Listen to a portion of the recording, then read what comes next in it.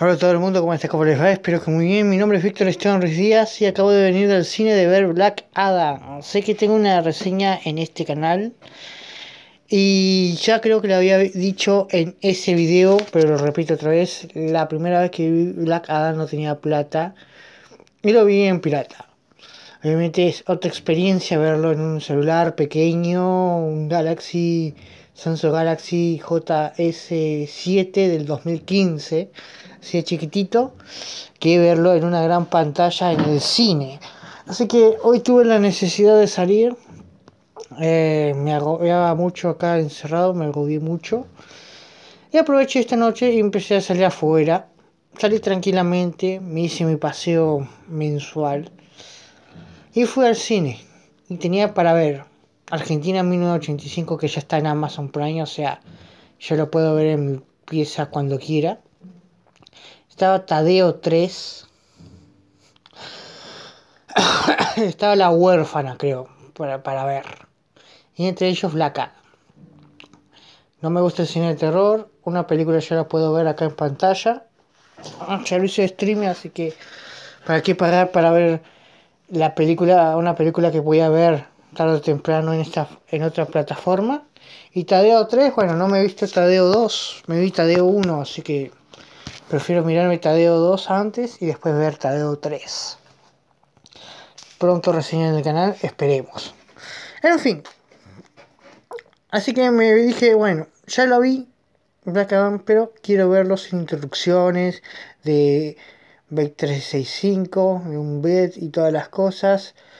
Sin, sin esas eh, comerciales invasivos eh, que te hacen los piratas obviamente para ganar rédito. O sea, te piratean la película, pero no te dejan verla en paz. Hay mal, muy mal piratas, muy mal.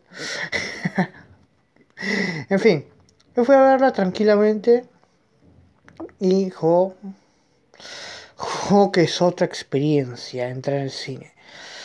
Hoy es miércoles, en mi ciudad los miércoles eh, hay poca gente que va al cine, la verdad. Está muy caro el cine. Subió de 450 a 900 pesos en un año. O sea, literalmente este año fui a ver Spider-Man No Way Home al principio de este año. Pagué 450 y a fines de este año pago por ver Black Adam en el mismo cine y pagué 900 pesos. Ya dije, bueno, ya, ya, ya listo, ya es el colmo del colmo. Pero bueno, ya estaba ahí, ya pagué la plata y, me dicen que para más adelante va a seguir aumentando, así que sí que se devalúa rápido nuestra moneda, es demasiado triste. Ni para ir al cine se puede ya. En fin, cuando empecé a ver la película, yo ya sabiendo el argumento, ya sabiendo todas las cosas, ya sabiendo la trama, ¿no? Porque ya la había visto en una página pirata, en una aplicación pirata. Eh, y verlo sin interrupciones, ya con el audio bien informado, toda la cosa. Eh, la experiencia fue totalmente diferente. A ver, siempre en los servicios de streaming tenemos la potestad de apagar, pausar el, la película mirar el otro día, pausar la película cada tanto, salir, tomar aire, orinar, qué sé yo, o sea, tenemos eh, la posibilidad de parar la película.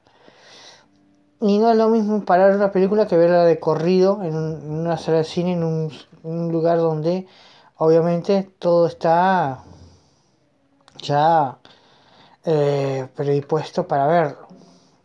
Eh, había poca gente, es miércoles y Bahía Blanca no es un sitio cinéfilo, la verdad. Rara vez se llenan las salas de cine. Antes, cuando valía 300 eh, pesos, Imagínense ahora que vale 900 pesos menos.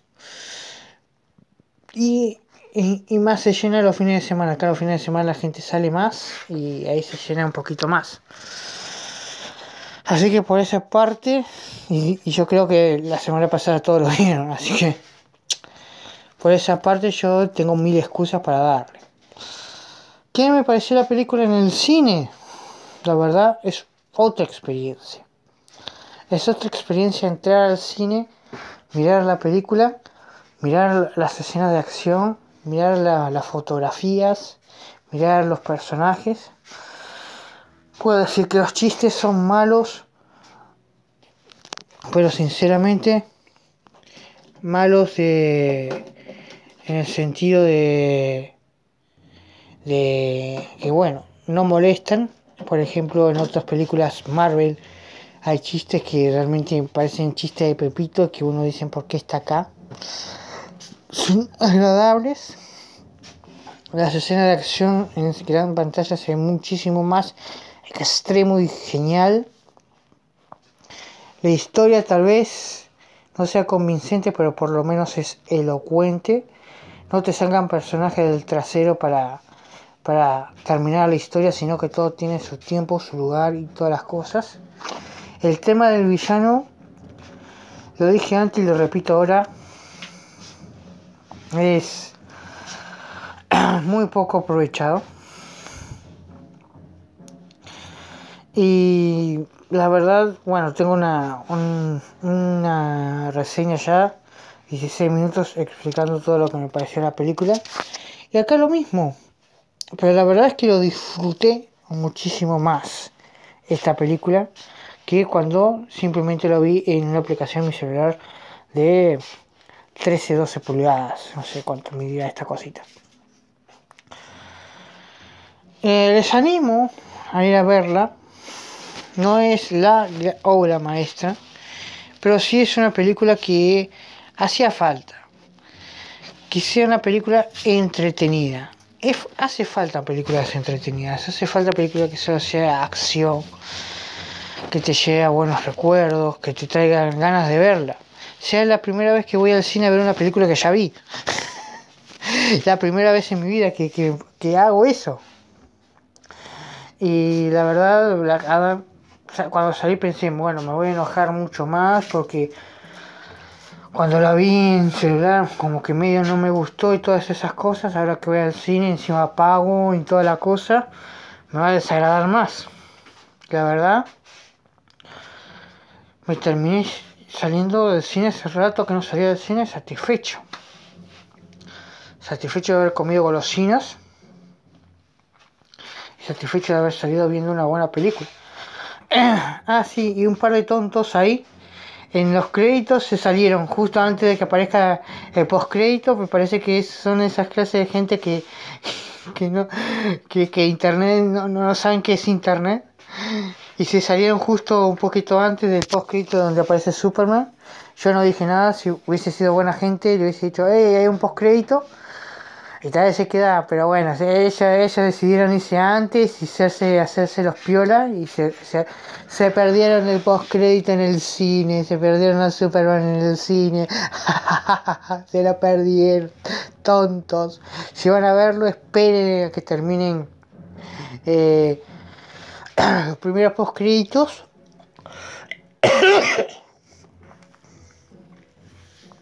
Ay, por burlarme, casi me hago por burlarme. En fin. Y van a ver eh, que realmente, realmente, ay Dios mío, eh, termina valiendo la pena. Se habla mucho del postcrédito, pero creo que la película de por sí misma no tiene Deus Ex Machina, cuenta una historia, cuenta un origen. Eh, hubo una parte donde vi sentado a la roca eh, como Black Adam en el trono y dije, bueno, si acá hubiesen hecho un final ahí, se ha quedado perfecto como un villano o como un antihéroe y listo, pero tuvieron que alargarlo un poquito más y hablar de no, hay que ser imperialista y Ese final no me convencí, eh, no le había prestado atención antes, pero viéndola en el cine, mirándola mejor, y sí, no queda, no queda bien. Pero bueno, ya, está hecho, ya está así. ¿Qué puedo decirles? Recomendarles. Si quieren saber más de lo que pienso, tengo mi reseña acá en el canal. Se llama Black Adam Es. Y realmente esta experiencia en el cine fue única. Salí satisfecho, salí de ver una buena película de acción que hace rato no veo una buena película de acción. Y realmente puedo decirlo que si tienen miedo por lo que dicen algunos críticos de que la historia no vale la pena y todas esas cosas, Créame que Marvel tiene muchas películas peores, empezando por Capitana Marvel. Personalmente me gusta, pero sí que tiene ese desagrado, ¿no? En parte de Brie Larson que, se ganó a pulso. Eh, tiene Adman y tienen Adman 2, que creo que son mucho peores películas que esta. Tienen buena puntuación por ser Marvel nomás. A ver qué otra mala película de Marvel puedo decir. Eh, eh, Shang-Chi. Eternals. Spider-Man No Way Home. Sí, sí, sí, sí, sí. Se van a suscribir mucho.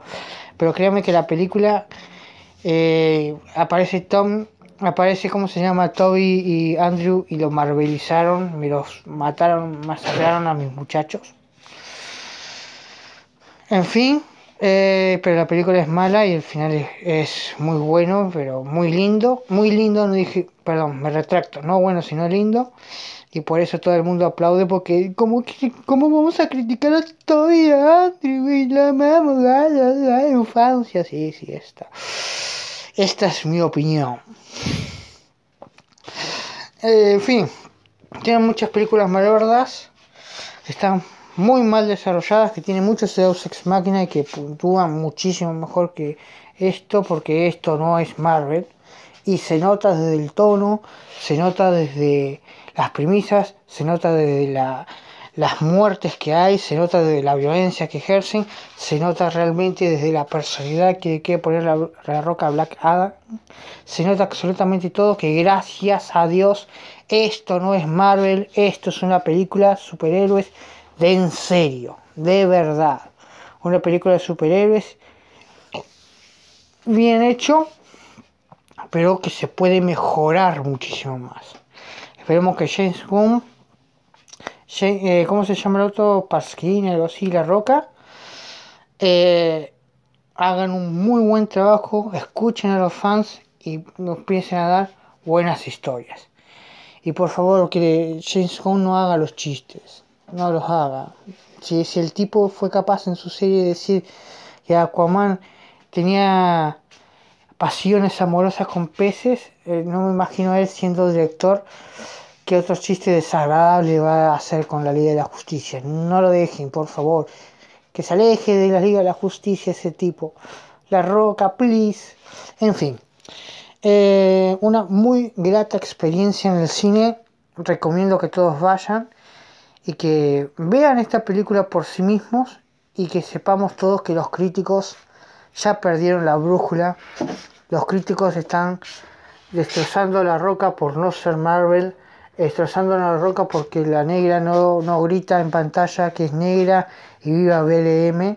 Están destrozando al coso porque uno de los personajes favoritos de la gente es blanco y de ojos azules y ellos odian a los blancos. Lo han dicho abiertamente. Están enojados porque acá se matan hombres y mujeres por igual. Cuando las mujeres jamás nunca en la vida deberían ser malas ni deberían morir en pantalla porque eh, son superiores a los hombres, nunca mueren. Eh, están enojados por eso. Están enojados porque su discurso Marvel en este en esta película no está siendo respetado a rajatabla. Y no hay ninguna banderita arcoíris en ningún lado. Como diciendo, ay, miren, soy gay. Y, y vamos a hacer una película de superiores alrededor de lo gay que soy. No está eso en, el, en, la gran pantalla y lo odian, lo odian por eso. No hay ningún argumento fuerte para estar en contra de esto, para darle un 39, pero ni de cerca. Y ahora que viene Black Adam y que trae toda la promoción progre dentro de sí, ya se lo ve desde los trailers. Ahí sepan que le van a poner un 100% y el que se atreva a decirle algo malo es racista. Ahí sí van a ver lo racistas que somos. Ahora que nos gusta una película que un negro es el protagonista y nos agrada un montón, y de ellos no, ahí no es racismo, ahí es crítica. Y ahora cuando venga Wakanda Forever digamos es una porquería, ahí van a ver lo racista que somos y lo mala gente que somos espérense 10 días más, espérense 15 días más para escuchar esos argumentos. Asqueroso. En fin, una buena experiencia. Disculpen por irme por las ramas como siempre. Un like se agradecen si quieren seguir escuchando estas clases de podcast. Y nada, lo mismo. Si no tienen, si están indecisos de ir al cine ver o no ver una película de acción, pues esta es una película de acción. Tiene chistes malos, pero les aseguro que no molestan y hacen ameno la película. Por parte me despido, les deseo a todos buenas noches y ojalá gane boquita. Así, hasta la próxima.